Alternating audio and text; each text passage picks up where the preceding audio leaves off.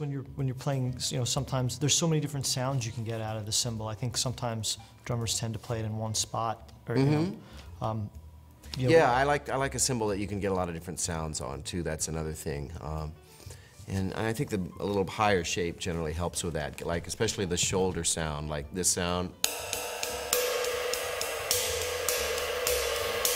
Like I don't actually have to hit it harder to get an accent. I can just hit it the same and hit it on the shoulder.